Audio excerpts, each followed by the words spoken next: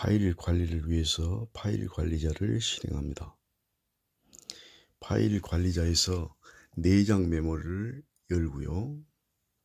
거기서 폴더를 만들겠습니다. 폴더 이름은 work로 하죠. W O R K 추가 그리고 이 work방에 work방에 파일을 만들어 저장하겠습니다. 이미 저장된 내용들을 한번 볼까요? 언더바 work방을 들어가 보면 이와 같이 저장이 되어 있죠. 2020년 12월 현재 교육활동 내용들입니다.